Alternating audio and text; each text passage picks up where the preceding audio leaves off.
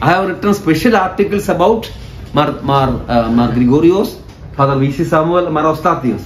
Those people who influenced me as teachers, gurus. Yeah. I know there are some differences of opinion, methodological difference between the priority aspect. Mar Osthathios priority mission, mission. Also Trinitarian theology, sharing all these things. Mar Gregorius is more philosophical, you know. Yeah. Mar, Mar, Bishop, uh, Uh, Father Samuel giving importance to cultural heritage of India. The hmm. heritage of India. He has written an article in Purohitan about that. Hmm. The cultural heritage of India. Yeah. He is interested in that. The theology of the Indian, so the Indian church should be fully Indian, not an outside. Yeah. So you, Yeah. you let's let's talk about that portion, especially when you use that phrase Yeah. cultural heritage of Yeah, India. yeah, yeah. Now, and you talked about he liked uh, Father V.C. Samuel Yeah. liked about an Indian church. Church. Do you have other you know examples or Yeah. instances Yeah. when Father V.C. Samuel you know Yeah. something came up and you felt that that is what. Father V.C. Samuel had in mind? yes. Share something to on that. plant a tree what we do we take the seed or the or the sprout of that seed with some sa- some soil there it will be attached to the to the roots there will be some soil with that Hmm. we take it and plant in our soil Hmm. we plant in our soil and that seed grows that tree grows that that so christianity was born in palestine jerusalem some in the middle east someplace Hmm. already it has got its own cultural background Yes. jewish uh, greek everything yeah some of the roots are there with christianity also and we have to implant the seed in indian soil and the roots have to grow deep grow deep to in the indian soil Hmm. we have to adopt Indian architecture, Indian music, we have to develop Indian music. Or actually, the word Syrian is used with the name of our church, Malankara Orthodox Syrian Church. Why? Because we have adopted the Syrian liturgy, Syriac liturgy. It is the most ancient liturgy in the world. It is not owned by the Syrian people. No, this is the common heritage of Christianity. Syriac liturgy. Yeah. Mhm. We have to adopt it. But Father Samuel proceeded to think you have to develop Indian tunes. The music must be Indian, in the Indian method, Indian Bhakti ragams. Indian architecture, Indian way of expressing. But there is a, a difference of opinion about how far can we go to that. Right. About that, there is a difference of opinion. Right. About the cases or something, some people are uh, uh, not agreeing to avoid the word Syrian. Hmm. Father Samuel, now there is the word Syrian, but it is come of age, has come of age. This the time is ripe. Now we have to uh, make the church fully Indian. Yeah, it was the position of my, uh, Father Samuel. Mhm. We have to seek Indian soil to grow the plant. Yeah, some some philosophical concepts also we can adopt from that. Mhm. Up to what extent? There's a, there's some difference about that. But in all respects, the church should be Indian. It was his argument. Yeah. He said to me, personal talk. I know these church fathers, the world church fathers. I know their spirituality, their life.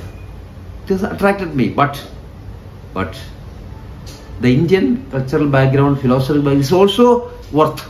It's also deep. Yeah. We can get something from that background also. Yeah. Spirituality, we can also uh, use that up to a certain extent. Yeah. So that was the vision of Father Samuel. So Yeah. I, from Yeah. what we, I, know very little about Father V.C. Samuel. For me, also, it's a learning process. Yeah, it's yeah. an ongoing process. Yeah. Uh, so, I, my understanding is that Father Yeah. V.C. Samuel always used to have this uh, an Indian identity to the Orthodox or an Indian Orthodox Church, specifically saying that way. Yeah. What do you think was the No. main reason why. Father V.C. Samuel's vision that did not go through or that did not come to say a better Yeah. Uh, it did not, you know, grow up or Yeah. it did not, you know, mature enough in the church. Yeah. What do you think? to adopt an idea from other other people some some people hesitate to that because their own prejudice many people are prejudiced about that Right. about their faith other people what our authorities will think about that what the official church authorities will think about that we have some uh, obligations towards the bishops the synod the common faith of the authorities of the church. They are hesitant to make a sudden change. Yeah. it may affect their position the litigations to affect that they hear yeah. Again nobody in the church has the scholarship that father samuel had the academic scholarship he studied in russia sorry so in america in different universities it's very interesting his personality see. after his marriage after one or two months he went to america for research he sent his wife to Tadagam Ashram at Coimbatore. you stay there. And she was uh, interesting to stay there. Yeah, Tadagam Ashram, in that monastic background. He went to America. I think he came back from America after four or five years, after the research, after completing the research. He was very keen to research for the church, for the edification of the church.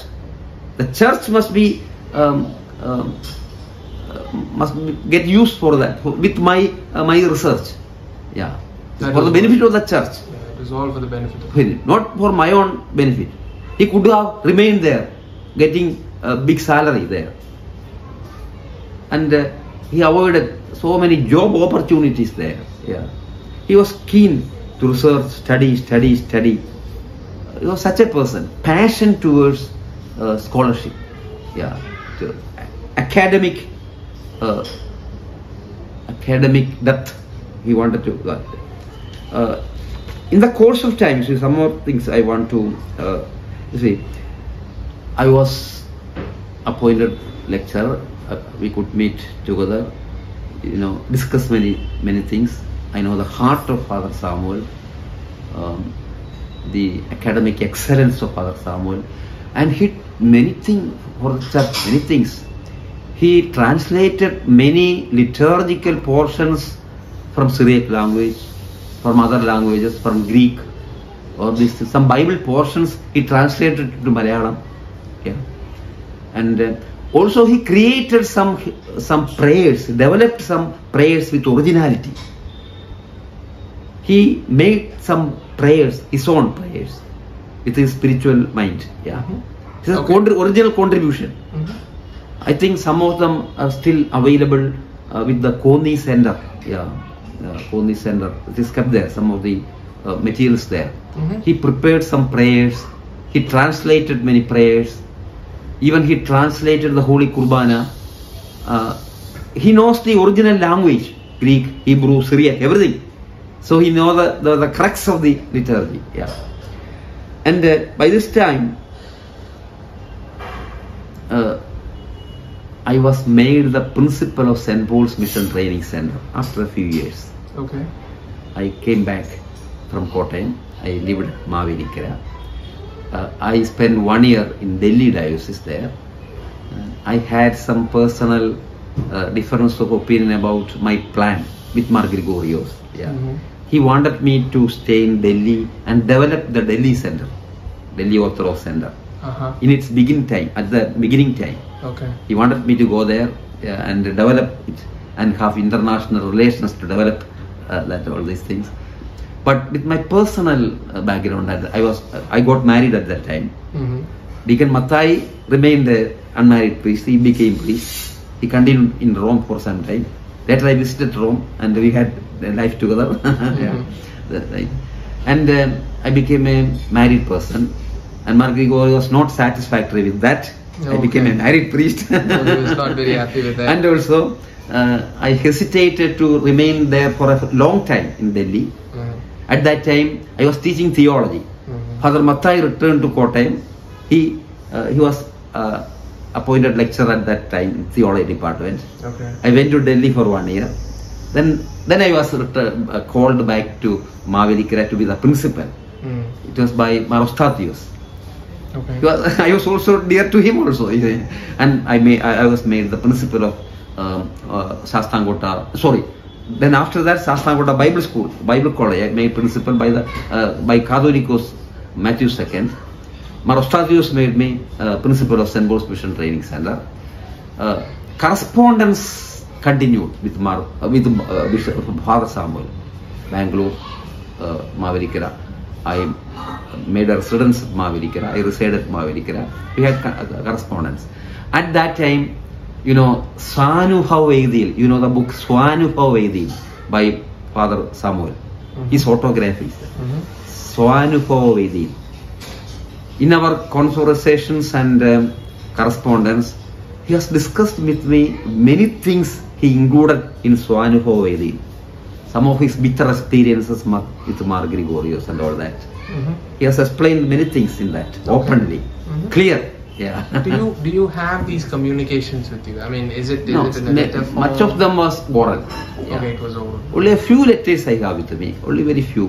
Okay. In course of time, now it is 40, 40 years, 35 years already. Correct. It is. It is. Some lost. I think some of them are still alive, still still there. Uh, if you have that, that would be a Still nice be- thing to nice, be nice, yeah. archived. Yeah. From the heart, uh, we were very near Father Samuel. I respected him as a guru. He uh, loved me as a son, as a spiritual son. Yeah, everything. And see, again, mm, I I have written so many books. Now it is already 30 books I have completed, both in Malayalam and English. 30, three Who publishes your books? Yes. Some of them were published by the seminary. You know, the Divya Bodhanam project, you have Yes, heard of that? yes, there is two books in that, in my book. Okay. Vedashastra Vidyo, Vidhi, Introduction to Theology in Malayalam. Mm. Thinking about God in English, yeah. Vedashastra Vidhi and uh, Thinking about God. These books were published by Kottayam Seminary, yeah. Some of my books were published by Bible College Shastangota, yeah. Okay. Some of my books published by CLS, now CSS, Christian Literature Society. Yeah, CLS. Tiruvalla. Based in Tiruvalla. An ecumenical organization. Some of my, my book about patristics is uh, published by them. Some some literary works. I have written a book on the literary people of Russia. You see, Dostoevsky, Tolstoy, uh, uh, like that, Pushkin, uh, Lermontov. In Malayalam. Okay. I have collected, I have visited the, the places related to these uh, literary people yeah, in different parts of Soviet Union at that time. Okay. I visited their tomb. I spent time there. So is it is it yeah. sort of a um, yeah an essay on those essay people? on those people? Okay. I written a book. That book is called Russian tithila Navaratnangal, and the foreword is written by Dr. Sukumar Azhikode to that book. Oh, okay. To that book, I, I have written it Russian tithila Navaratnangal. I am interested in literary uh, field also, you see. Sahityam, literature. literature. And my book is there. Uh, Russian Sahitya Navaratnangal. Dr. Sumar wrote forward to that book. Okay. I can show that. I have not brought now, you see. It is my house okay. there. It is published by uh, Jeevan Publications near Mavelikara, Chunakara it is called, by some literary people. They have uh-huh. published it. Some have, uh, they were published by, with my own initiative. I have started a publishing uh, project hagios books. It is called the hagios books book series. The word hagios in greek means sanctity holiness. I give importance to sanctity. Holiness is important not academic stability no. Not intelligence not depth not our head. Our devotion, spirituality is important. Sanctity, holiness is the mark of orthodoxy. Holiness and worship, the matrix of theology, form the matrix of theology. Holiness is important. Spirituality is important, not our academic capabilities. It's an interesting thing which you said about that, Yeah. Father, because uh, right now in this world, you know, th- there is a there is a lot of focus on Focus. knowledge, Yeah, yeah. and gaining knowledge, knowledge, and understanding knowledge. And knowledge, it seems, Yeah. is the end all, know Yeah, all yeah, sort of yeah, a thing. yeah, yeah. So when the, Yeah. the Orthodox uh, philosophy on, on that is not the most important right. thing. It's a very different. It's a very we different have to acknowledge human limitations limitations of perception limitations of conception Mhm. limitations of articulation how to express limitations of interpretation we have to acknowledge our limitations Right. at the same time we have to try to reach out Mm. theology is not teaching out something Mm. anybody can teach Right. without life True. theology is not teaching out theology is reaching out Mm. reaching out. The Orthodox theologians call it the process of theosis, Mm. infinite growth in goodness. Mm. That growth is necessary from glory to glory. Growth in glory to glory. We are created in the image of God, but we have to grow up from glory to glory. True. Glory. Yeah. This is called plerosis, the perfectness. So our, our journey of theology or spiritual growth is from kenosis to plerosis. Kenosis means self-empty, hmm. humiliation, self-empty, sacrifice. Right. A growth from kenosis to plerosis, theosis, growing up, gradual development. You have to grow up. So theology is plerosis, reaching out. Mm. Yeah, you have to grow up. So we, there's limitation for our intellectual capacities. Every knowledge is from God. Correct. God has given us epinoia. The word epinoia means special capabilities to know, to work, for science, technology. All these fields belong art, artistic skill. All these things are given by God. The grace of God, gift from God, is called epinoia. Gift from God. Mm. Everything is the blessings, grace from God. You have to acknowledge it, our limitations. And then it is called in the language of theology learned ignorance. Learned ignorance. ആ, അറിവിന്റെ നിറവിലെ എളിമ വിനയം അറിവിന്റെ നിറവുണ്ടാകാം എളിമ വേണം learned ignorance father Samuel had the learned ignorance ascetic attraction. His approach was ascetic. Though he was a married priest, his presence was that of a hermit, ascetic person, spiritual guru. I felt it, that presence. There's a difference. Some of them are academicians. Mm. The intelligence I, I could understand, grasp. But from Father Samuel, I grasped the ascetic attraction. Although he was a very All was married, yeah, family man. married. He was a very intelligent, intelligent man. man. Such Yeah. a such a scholar he is. Yeah, that is very important. Ascetic attraction, learned ignorance. Mm. That is uh, Eastern view of uh, spirituality. Mm.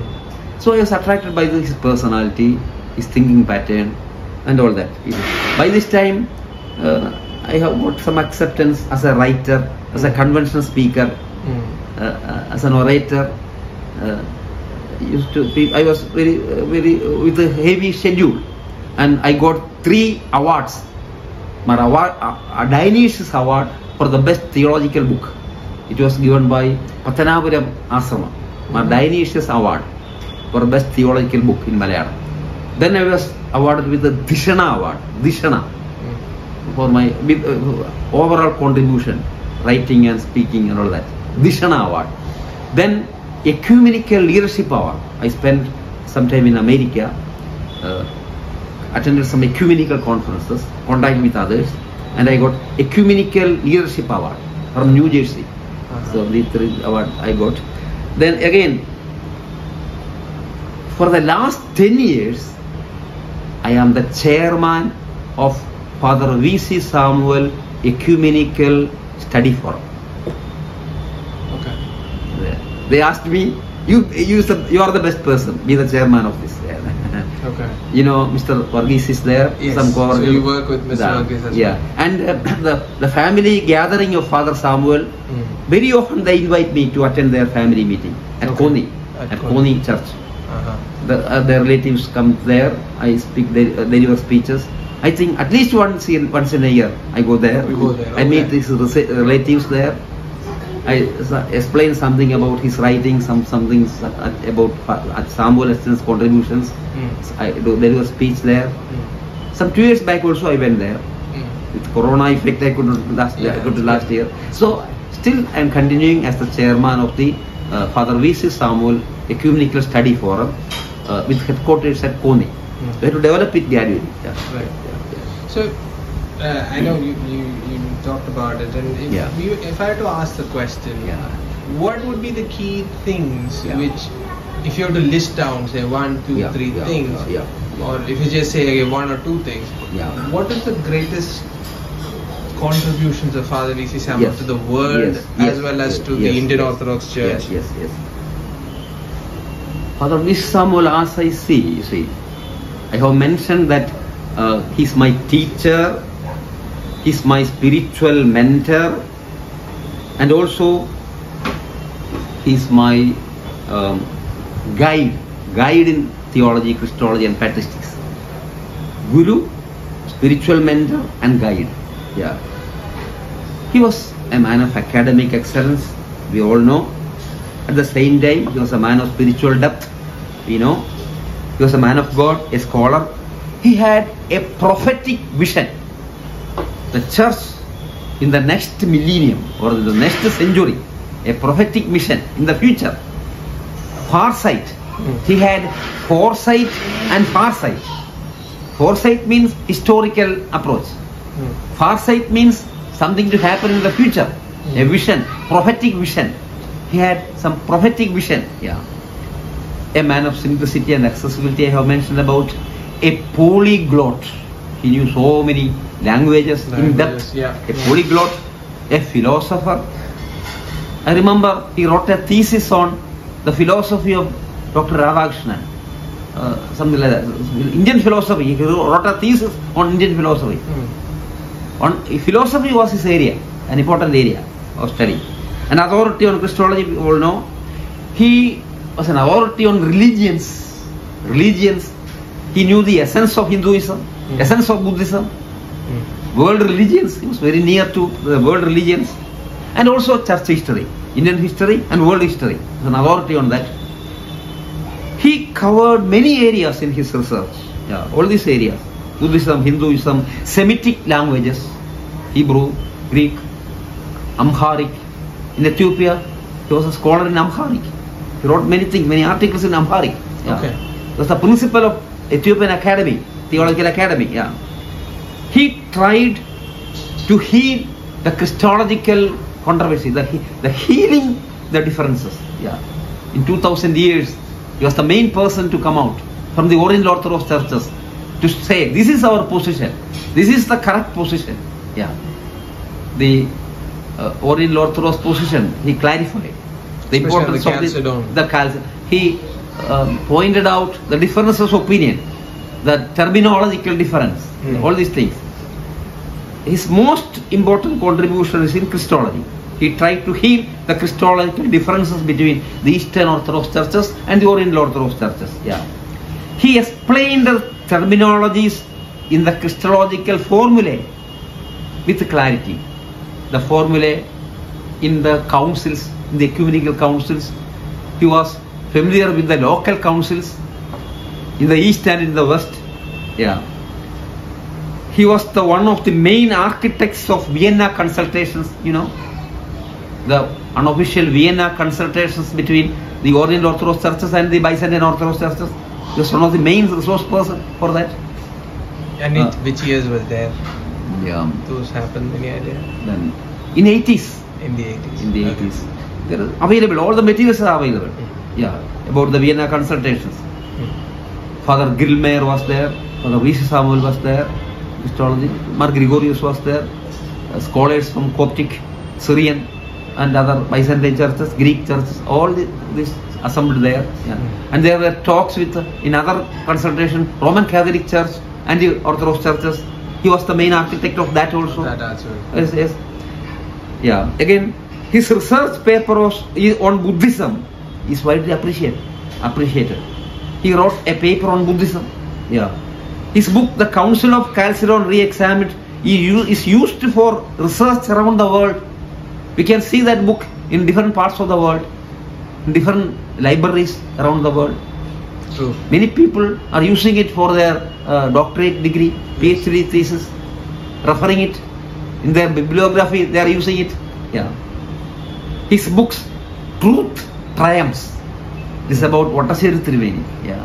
He has written a book on Truth Triumphs Triumphs, yes. about about the freedom of the Indian, independence of the Indian church, the freedom struggle of the Indian church. Which is something very close to Achan's heart, yes. Yeah. Vattasiri Tirumeni suffered much for the church, you know, for the freedom of the church. Mhm. He had many enemies in the patriarch side and many other sides. Yeah, but he fought it. He was a man of prayer. He was the main architect behind uh, the the Bharanaghatana, the constitution of the church. Mhm. Matrashes Tirumeni uh, took a main part for that. Okay, uh. It's about also Father Samuel emphasized the inner independence. That means uh, about the rule, self-rule of the church, self-head of the church. The church must be autonomous. Matrashes also had the vision. The church must be autonomous. Autonomous means self-rule not a foreign domination or foreign rule. Right. Autonomous, autonomous means self-rule. Hmm. Autocephalous, the church should be autocephalous. In Greek, the word kephali means head. The head of the church. Who is the head of the church? Not, not a foreigner. Our own head.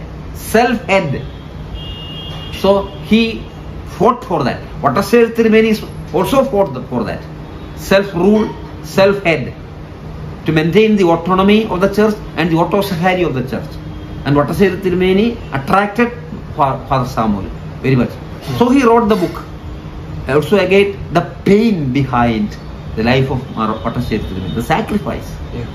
the tears in this life, Mhm. the tears. Actually, theology means the blessed tears. The tears. I have a personal experience with the father confessors of the Russian church.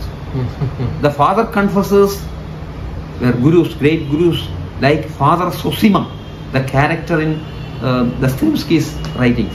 Father Zosima, an ideal uh, father confessor. So many people come to seek advice from him. The people should stay outside the church. Each one entered the church Then the first process of confession tears, blessed tears. രണ്ടുപേരും ഏങ്ങലടിച്ച് കരയും ഈ കുമ്പസാര പിതാവും കുമ്പസാരിക്കാരിക്കുന്ന വ്യക്തി വ്യക്തിയും ഈ രണ്ടുപേരും കൂടി ഏങ്ങലടിച്ച് കരയും that's a preparation for the confession that's a തുയോബോ of the confession for 10 minutes, 15 minutes, 20 minutes. You have seen that. You can hear the voice, Mhm. voice of repentance, the tears. to have a spiritual rapport between them. Then the counseling starts, the prayer starts, the confession starts. The importance of blessed tears. So Tirumeni was a man of tears, was a man of prayer, a man of sacrifice.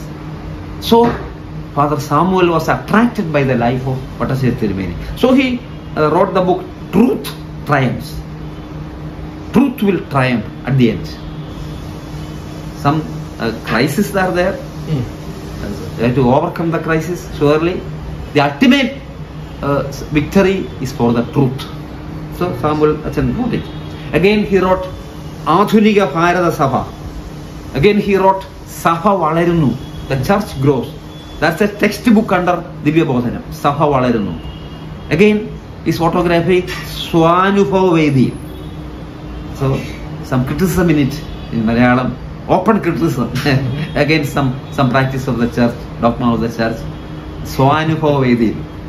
yeah, again.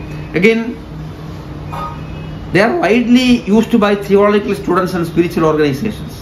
His book on catechism is an authentic writing on Orthodox theology, Orthodox faith. Yeah. Book on catechism. You cannot forget that. Right. Dr. V.C. Samuel was a world leader of ecumenism. We cannot say he was Indian leader of. No, a world leader of ecumenism. He was a member of the Faith and Order Commission of the WCC for uh, tens and tens of years. At least 20 years, I think he was the uh, member in the Faith and Order Commission of the WCC, World Council of Churches. A very long time. He was the main resource person behind the Lima document, an official document of the WCC, Lima document. It was formed in Peru, Lima in Peru. Peru. Uh, Lima document means it was uh, or it was uh, created in Lima conference, and Father Samuel was the main architect behind Lima document, an ecumenical document um, connecting all these faiths, but uh, affirming the faith of the church, affirming the undivided church. He was open to ecumenism, and uh, he formed a, a, a document. It is called the Lima document. Then, yeah, what we'll do is now we'll take a break. Yeah. It's been an hour. yeah. We'll take a break Yeah. and then we'll continue, Continue, again. yes, okay, okay. Okay. So we're just going to stop here. So we'll. St- uh, this is part one. Yeah. We'll stop.